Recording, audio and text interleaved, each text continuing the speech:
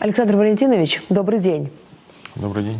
Только что закончились двусторонние переговоры между Россией и Еврокомиссией по многим вопросам, в том числе и по вопросу э, поставок газа на Украину. Какие главные результаты сегодняшней встречи?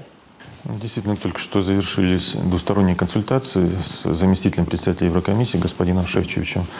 А в переговорах участвовал представитель правления «Газпрома» господин Миллер. На мой взгляд, э, переговоры прошли довольно э, конструктивно, э, предметно обсудили все вопросы нашего энергодиалога.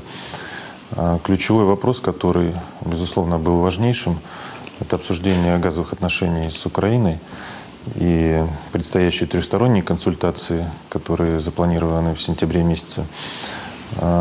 Сегодня уже тот период наступил, когда осенне-зимний период наступает, и необходимо для надежного транзита газа европейским потребителям обеспечить э, необходимые объемы закачки в подземные газовые хранилища. Мы это обсуждали сегодня. А необходимо надежно э, обеспечить э, закупку газа украинскими потребителями, нафтогазом Украины, для того, чтобы не отбирать в зимний период из транзита европейским потребителям. Потом эти вопросы обсудились. Мы обсудили статус-кво сегодняшний и э, те условия, при которых мы будем работать в течение четвертого квартала и первого квартала э, следующего года. Так называемый зимний пакет по аналогии с прошлым годом. А, подготовили сегодня трехсторонний документ, который э, предложен к подписанию во время трехсторонних консультаций. Очень сложное было обсуждение, поскольку впервые мы по, нашей, по нашему настоянию, по нашему требованию э, в этом документе прописали обязательства каждых, каждой из сторон. И в первую очередь это обязательство украинской стороны по закачке необходимого объема газа в подземные газовые хранилища э, в период до середины октября месяца, в том числе не менее 2 миллиардов кубических метров газа. Это закупка газа у «Газпрома». И под это обязательство а, Еврокомиссии обеспечить предоставление средств украинской стороны за счет э, кредитов международных финансовых организаций. То есть европейская сторона подтвердила сегодня о том, что будут в ближайшее время выделены 500 миллионов долларов а, для закачки газа в подземные газохранилища и закупки у «Газпрома». Это существенный момент, потому что вопрос финансирования вообще в этих переговорах, он ключевой. Э, ввиду отсутствия средств «Нафтогаза» э, не закупался газ в течение третьего квартала, а время идет, осталось немного совсем уже дней до момента начала отбора газа из подземных газовых хранилищ Украины во время зимнего периода. Со своей стороны мы продолжим э, предоставление скидки, как и в предыдущие кварталы, абсолютно на рыночных условиях, не в ущерб «Газпрому», не в ущерб Российской Федерации, а приводя за счет скидки цены к рыночным ценам, к уровню Э, стран, которые находятся рядом с Украиной, например, это Польша. И такую скидку тоже мы готовы предоставить в течение четвертого квартала этого года и первого квартала следующего года. А вот все эти договоренности, они должны обеспечить э, в первую очередь как закупку российского газа в необходимых объемах, так и прохождение надежного транзита через Украину. А сколько сейчас необходимо Украине закачать газа в ПХГ? Здесь у нас оценки э, с Еврокомиссией одинаковые. А на сегодняшний день в подземных газохранилищах Украины закачано 14,7 миллиарда кубических метров газа. А для нормального прохождения зимы, а зима, скорее всего, вряд ли будет третий год подряд теплой, необходимо не менее 19 миллиардов кубометров газа. Таким образом, это 4,3 миллиарда кубометров, которые необходимо закачать за оставшийся период. На наш взгляд, это уже фактически невозможно э, достичь. Тем не менее, до уровня 17-18 миллиардов кубометров газа в ПХГ можно довести за этот период за счет интенсивной э, закупки газа у «Газпрома» и обеспечения поставок в ближайшие дни, начиная с третьей декады сентября и заканчивая октябрем месяцем до наступления холодных дней. А, ну и, в общем-то, основной вопрос, который, как я уже сказал, э, это ресурсы, потому что мы работаем в соответствии с контрактом в режиме предоплаты.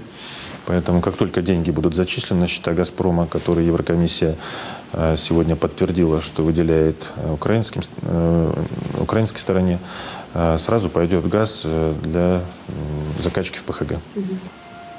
Сегодня и вы, и глава «Газпрома» Алексей Миллер в ходе общения с журналистами говорили тоже и о цене на газ.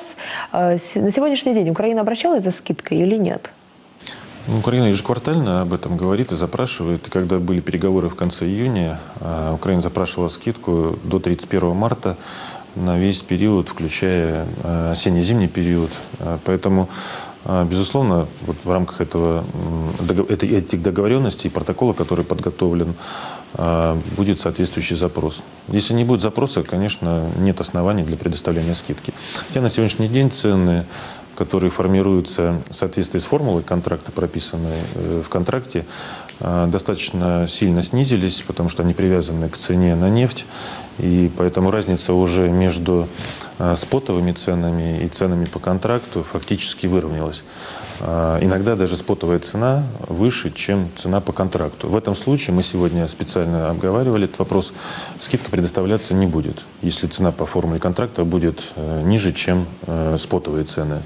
То есть это такой алгоритм, который позволяет гибко подходить предоставлению скидки. Она может быть предоставлена, а может быть и не предоставлена, если не требуется того в соответствии с рыночными условиями. Сегодня Украина получает газ только благодаря реверсу из э, Евросоюза, но при этом это обходится ей на 20-30 долларов дороже предложения России. А как вы считаете, есть ли вероятность того, что э, эта же ситуация продолжится и в четвертом квартале этого года, и в первом квартале 16 или все же нет? У нас, мне кажется, нет других вариантов, потому что если не будет подписан протокол и не будут выделены средства на закупку, у нас будут большие серьезные проблемы у европейских потребителей зимой а, и большие риски по прохождению зимы.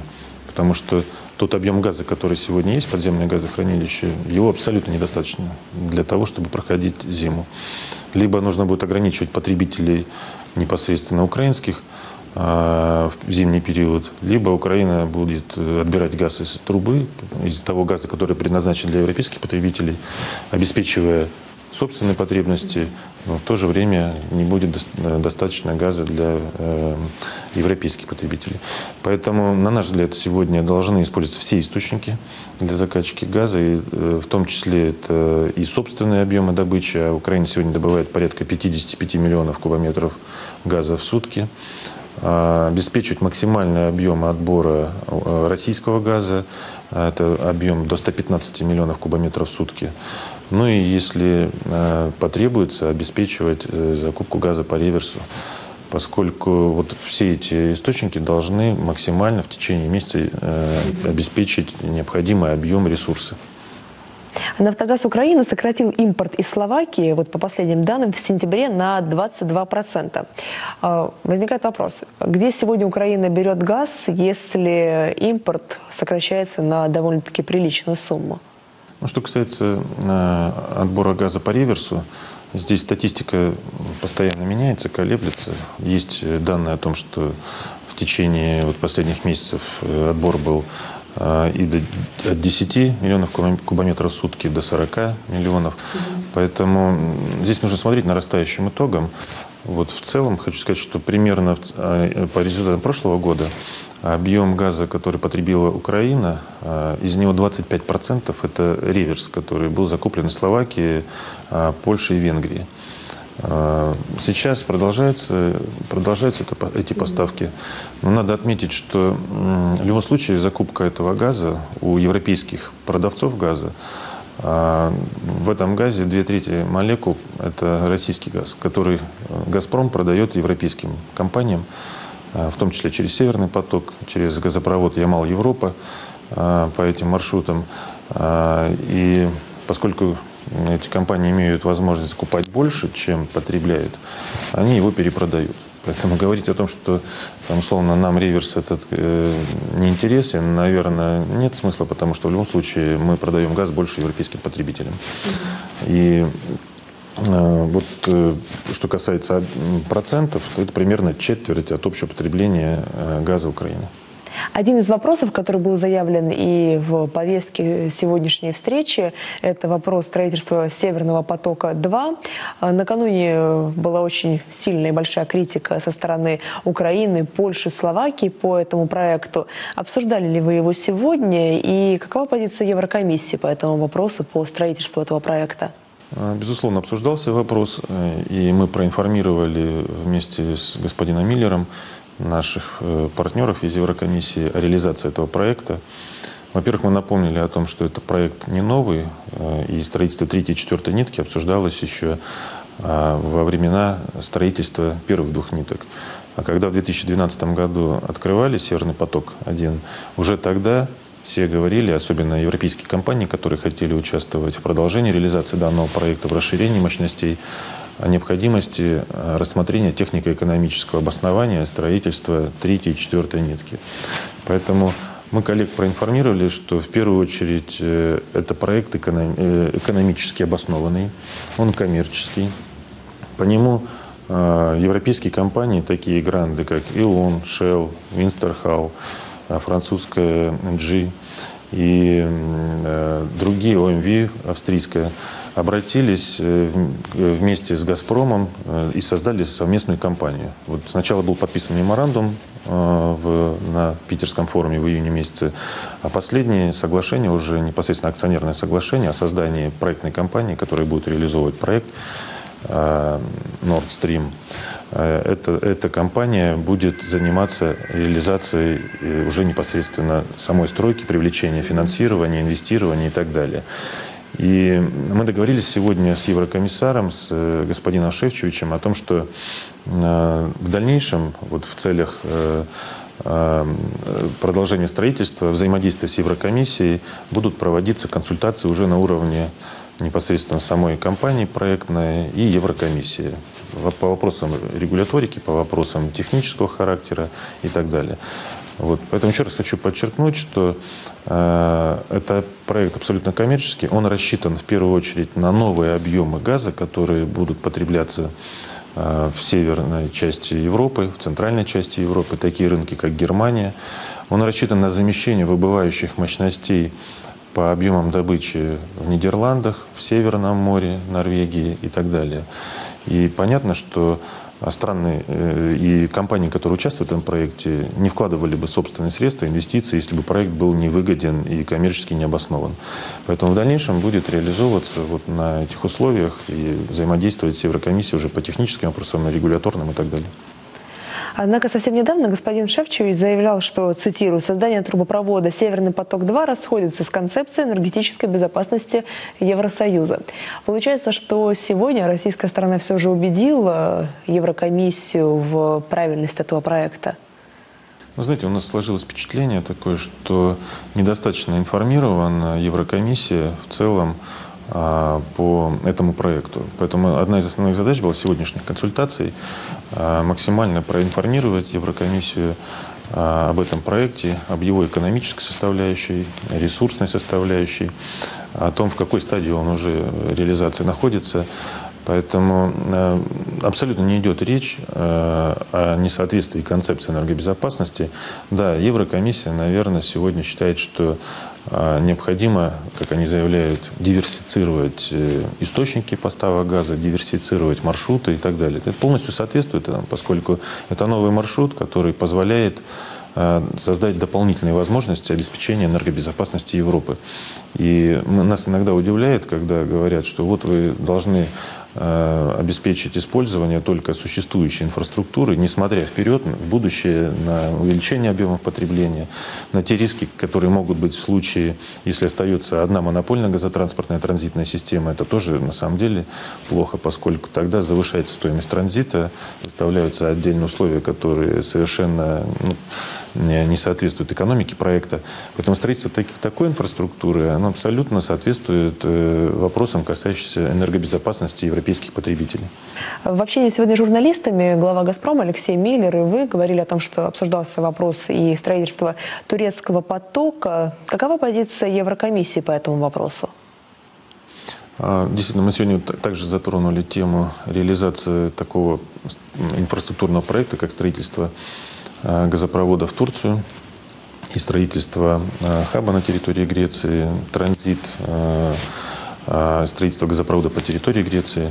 Мы проинформировали наших коллег, э, опять же, о статусе реализации проекта, о том, что мы сегодня находимся в процессе обсуждения э, межправительственного соглашения, юридически обязывающие стороны по реализации этого проекта. И на сегодня мы рассматриваем разные варианты, в том числе строительство э, нескольких ниток. Э, в первую очередь межправсоглашение будет касаться э, первой нитки газопровода. Это начало строительства турецкого потока для обеспечения непосредственно турецких потребителей и роста объемов потребления газа в Турции.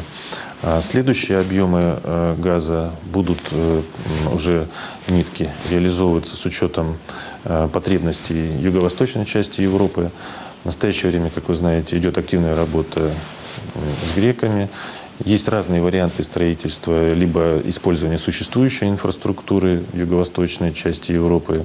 Где-то потребуется строить интерконнекторы, где-то реализовывать проекты по строительству магистральных сетей. А вот этим сейчас занимается Еврокомиссия. Э, нас также проинформировали.